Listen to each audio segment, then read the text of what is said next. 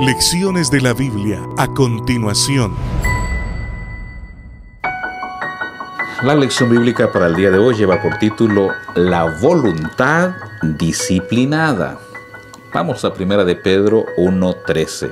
Dice la palabra del Señor así: Por tanto, ceñid los lomos de vuestro entendimiento, sed sobrios y esperad por completo en la gracia que se os traerá cuando Jesucristo sea manifestado. Uno de los mayores problemas de nuestra voluntad son nuestros sentimientos. Bueno, agreguémosle también nuestros gustos y nuestros deseos. ¿Con cuánta frecuencia pensamos cosas como estas?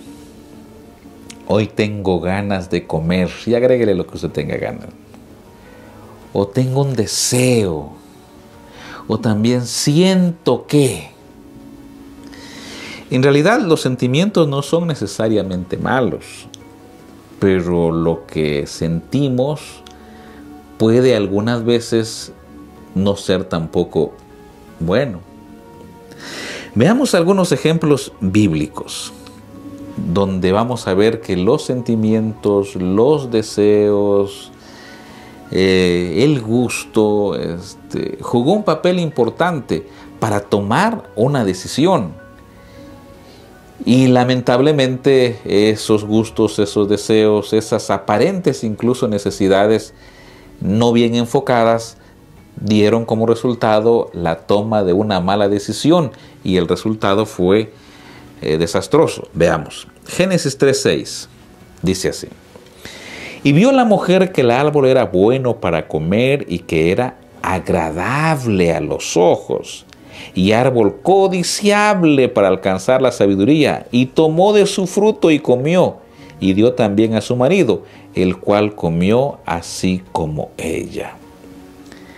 Aquí hubo una combinación entre deseos, también este, algo agradable que gustó, empezó a despertar ese gusto en ella y comió y el pecado entró y también Adán.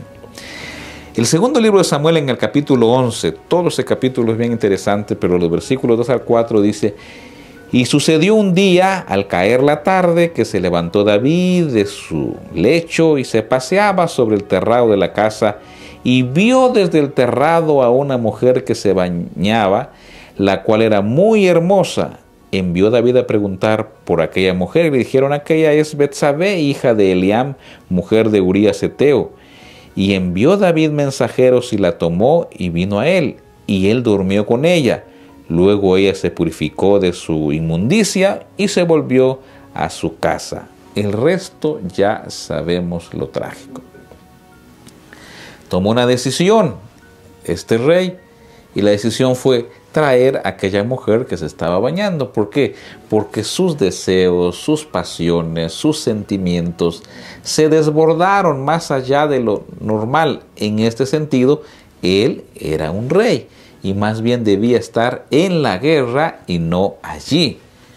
Pero fue traicionado por sus deseos, sentimientos y todo, y eso provocó mentira, asesinato, adulterio, muerte de un inocente, un hogar destruido, una fe afectada porque el propio rey fue afectado, así que tanto que provoca una mala decisión cuando se toma con base a los deseos, los sentimientos, los gustos, en fin.